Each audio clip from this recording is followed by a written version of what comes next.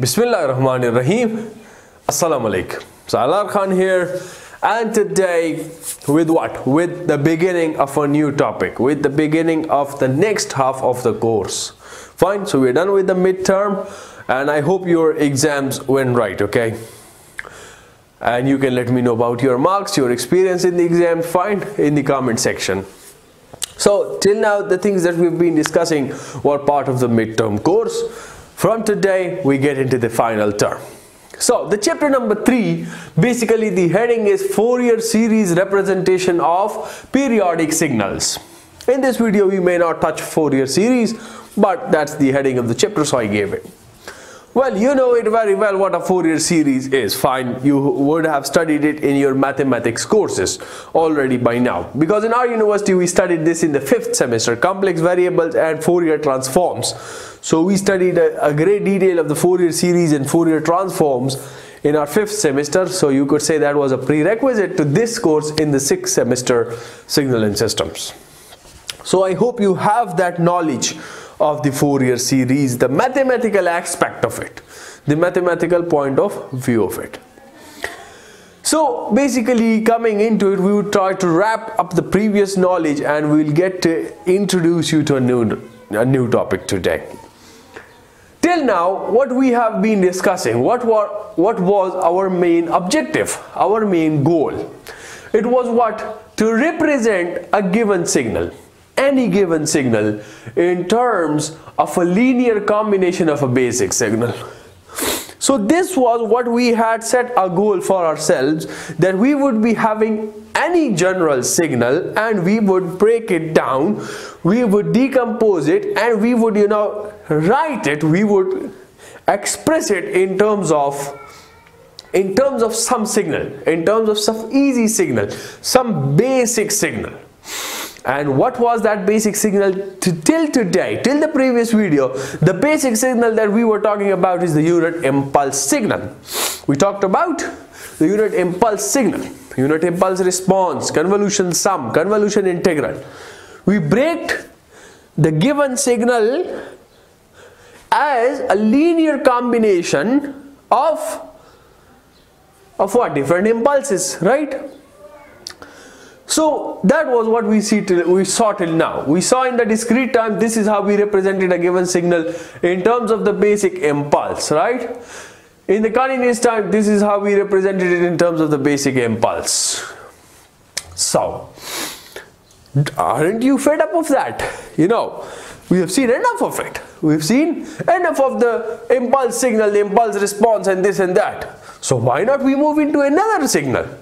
Why not we find ourselves another signal that we can express our given signal in terms of that signal which means that we want to find ourselves a new basic signal. Right? So we'll come to that later that what we would be seeing the basic signal. But first let us see the desirable features of a basic signal what feature should a signal have so that we could we could term it as our basic signal and represent other signals in that in terms of that as well. So the first is that the set of the basic signals should be able to construct a large and a useful class of signals. So this is your number first point that it should be able to construct a large and a useful class of signals which means that it should not be limited to a limited number of signals. If it could not express the more generalized or the more practically used signals we would not be taking it as our basic signal. The basic signal would be that in which we could in terms of which we could represent a large number of signals and a large number of practically applicable signals. So that would be the first characteristics of a basic signal. The unit impulse that we took till now, any signal that we have taken, sorry, we have represented it in terms of the impulse. So the first criteria, the impulse fulfilled. The second is that the response of an LTI system to each signal should be simple enough so this each is referring to the each basic signal the response of this LTI system to each basic signal and I wrote it in the wrong place so I'll put a bracket So to the each basic signal should be simple enough. Now why should the response to the basic signal be simple enough? To provide us with a convenient representation for the response of the system to any signal which is constructed as a linear combination of these basic signals. So you have a basic signal, the output to that you would generalize it as the output to the impulse we generalize as impulse response. So similarly another basic signal you would generalize the another. Let's say x is the signal so y is the output we have generalized for that. So now if we have the input that is a linear combination of x so we know that the output through the superposition property of the LTI system that the output would now be a linear combination of y. So this is the second property and the second property also the unit impulse exhibits. It has the property number two as well that if your input is represented in term in linear combination of the unit impulse signal the output is equal to the linear combination of the output to the impulse. You know that if delta of t is your input h of t is your output. So this is the convolution representation. So this was general this was a general feedback from the previous things that we've studied now comes the next topic the next thing is that we are fed up of this convolution representation x of k into h of n minus k we don't want it anymore we want another convenient representation we are tired of using the impulse signal, h of t. No, I want another signal. Fine. So in the beginning of the course, we have been introduced to some basic signals, unit impulse, unit step, this and that. But the signal that our book now refers to, we would be dealing with is the complex exponential signal. So we've already seen the complex exponential signal in what? In the basic signals. Now we do what? We see the complex exponential signal in terms of the LTI systems. So first I would have to remove the board.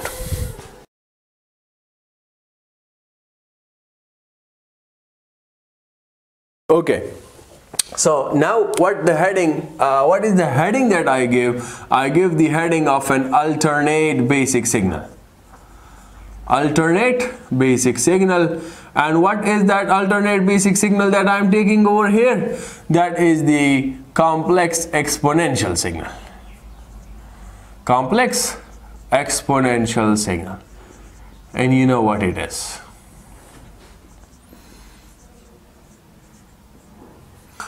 Okay. Complex exponential signal is now the next topic. After this, maybe in the chapter to follow, we would be dealing with this particular signal. So, in the continuous time, it is represented as what? You know it very well. In the continuous time, it is represented as an exponential of st, where s is generally complex so in rectangular form, if I represent it, so you have a sigma plus j omega. Sigma is the real part, omega is the imaginary part. Fine. Similarly, uh, you have a z. In the discrete time you represent it with a z. Z to the power n.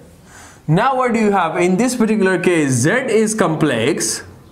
And what do you do is that in the continuous time we generally take the rectangular form whereas in the discrete time we generally take the polar form. So let me see what they have written. R exponential of j omega so they have written is that r exponential of j omega. So this is uh, you know the exponential signal in continuous time and discrete time. So I'm not feeling a little well today. You know and I have a cup of tea for that so I'm sorry. Well you guys would be also taking tea. Anyways so uh, this is your what uh, this is your exponential signal. Now what do you have? We have a speciality of this exponential signal. And what is that speciality? That when you give this exponential signal let's say in the continuous time case you give it to your LTI system the output is what? So you have a special type of an output. Similarly if you give it in the discrete time case you give it to your LTI system as an input the output is again something a special sort of. And how is that? So I would tell you that in the continuous time when you give exponential you get back the exponential. You get back the exponential. Whether in the continuous time case or the discrete time case you get back the exponential function but multiplied with a scaling factor an amplitude scaling factor. Over here we have an h of s over here we have an h of z h of z right? So this is number one speciality of what? I'm sorry this is the number one speciality of of this exponential signal that we are using over here. Fine. Now from the mathematics point of view if you have a signal you give it to a system you get it in the output back the same signal. So that is called the eigen eigen function of the system. A signal so you write it please. You write it for yourself. I will write it with the blue pen so that you you match it over here. So you write it please. A signal for which the output is a signal for which the output is some scaling factor times the same input. A signal for which the output is some scaling factor times the same signal. So that signal is known as eigenfunction of the system. Eigenfunction of the system if I repeat it once again, a signal for which the output of a system is some scaling factor times the same signal, that signal is known as eigenfunction of the system. And what is this scaling factor called? This scaling factor is called as the eigenvalue of the system. So this scaling factor is the eigenvalue. The constant factor is known as eigenvalue of the system. Fine? Is that fine? So now I wrote it over here like this that this exponential of st is the eigenfunction of the system. Z to the power n is eigenfunction of the system. Similarly h of s is eigenvalue. H of z is eigenvalue. How is this? Why is this? So let us prove it. We see it. We see it through a proof. Because we should not believe. You should not believe what i'm saying over here. So let's say i prove it so what is the proof that if my sorry my x of t is you know equal to exponential of st fine. And I give it to an LTI system. So what would be the output of my system? So this is what I have to prove. So over here I would prove it for the continuous time case. Over here I'd prove it for the discrete time case. So what do you have we know that the output y of t is equal to the convolution of the input times the impulse response. Right?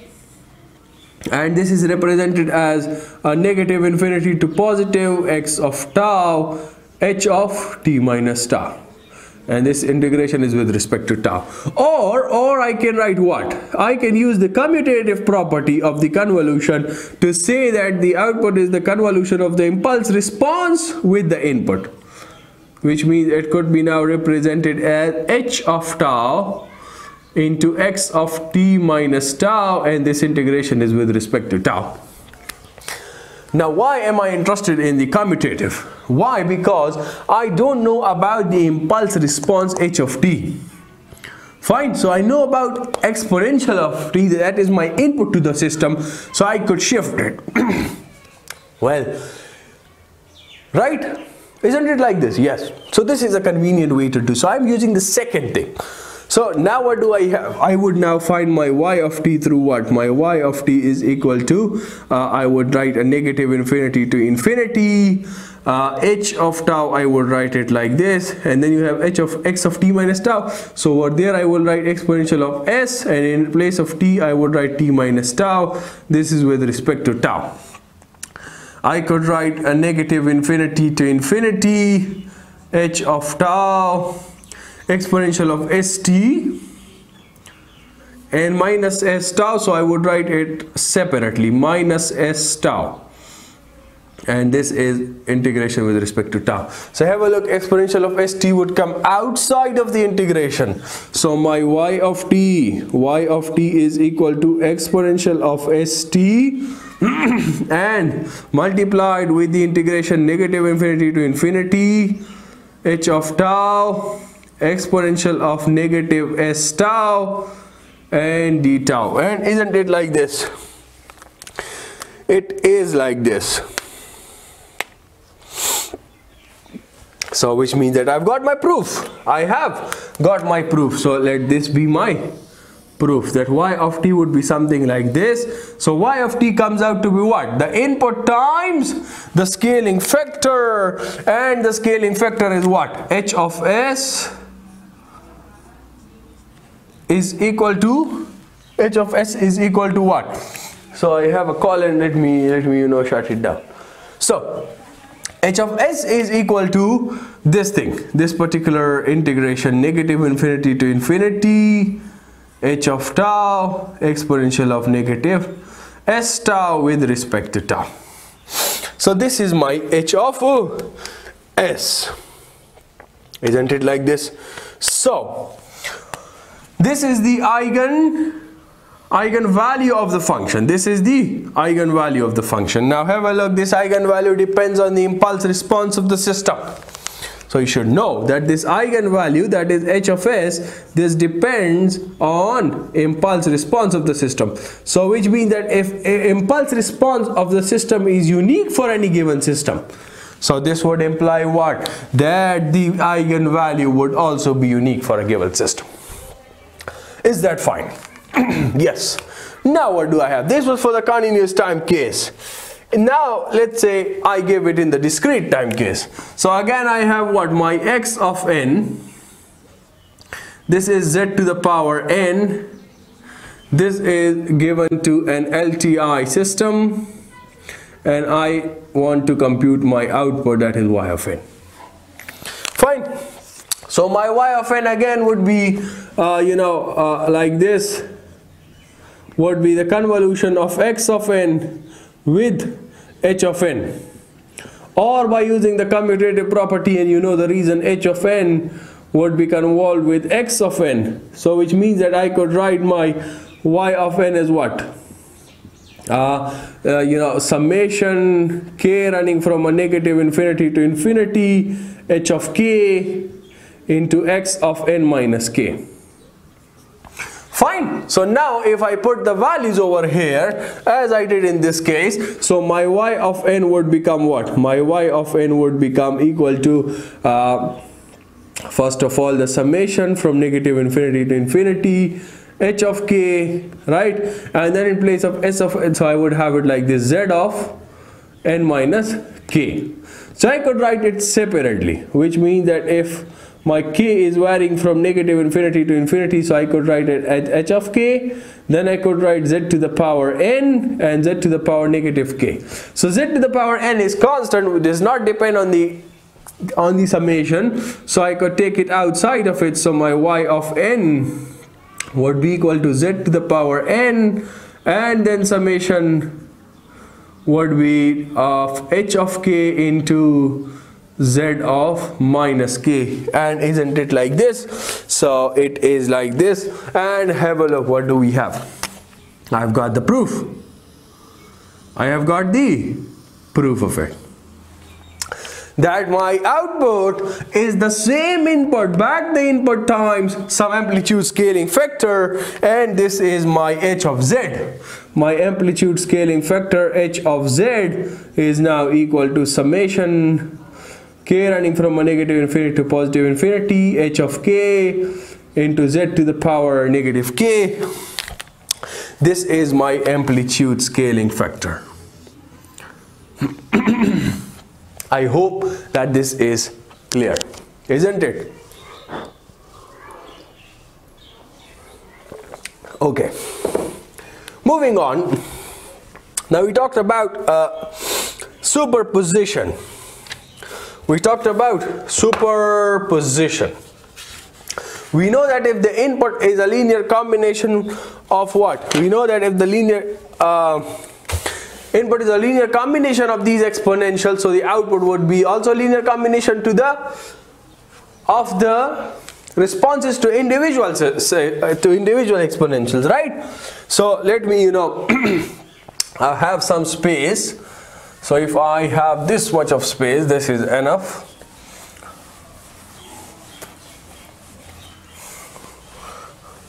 So if I am given a signal that is where it is. Okay wait here.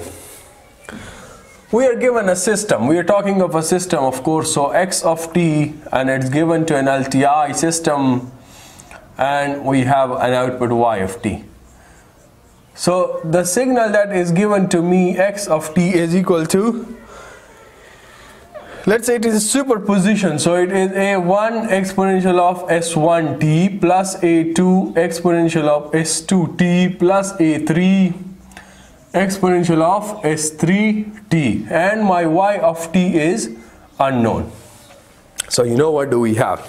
You know that you know that if this is an LTI system this is some weight times the complex exponential signal. So if you have an input that is S1 of t so what do you have? If you apply it to an LTI system the output would be the same signal a1 exponential of S1t multiplied with some scaling factor h of S1 Similarly, if you have a 2 exponential of S2t, you provide it to your LTI system, the output would be another scaling factor h of S2 times a2s2t.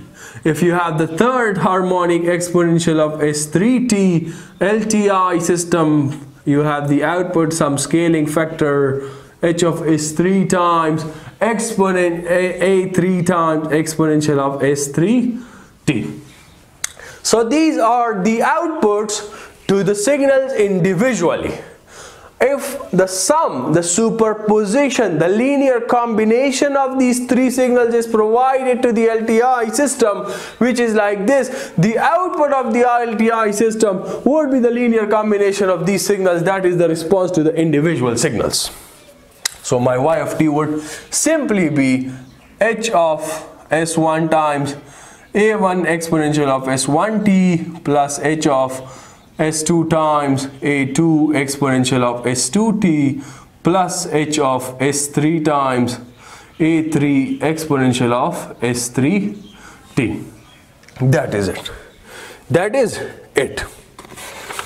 So I think that is it for today. So if these were for three for a third order system you know we had three harmonics but what if we have you know generally generally so I can write it like this uh, that if this my input is represented as uh, you know x of t is the summation over k. Over k right? You have an exponential ak exponential of s k into t right? So for this case my output would be what? Y of t would equal what? Would equal summation over k. And what would you have? H of sk and exponential of skt and of course the weight. So I would write it over here that is ak fine. So this was for the for the continuous time case. Now in the discrete time case again if my input is that is x of n it is represented as what? Represented over k the summation over k you have an ak z to the power n. The output of this system would be what? So you have a zk to the power n right? The output of the system would be y of n would be uh, h of uh, zk times the weight that is ak and then the same signal back. So zk to the power n and the summation of course summation of course over k. So this is it for you know the general introduction to these topics of a, a background development from the previous topics and getting in the way to the next topic. So i finish this video over here. See you in the next one where we do what? We, we, we start the new topic. Till then take care of yourselves and everyone around you and do remember me in your prayers. Goodbye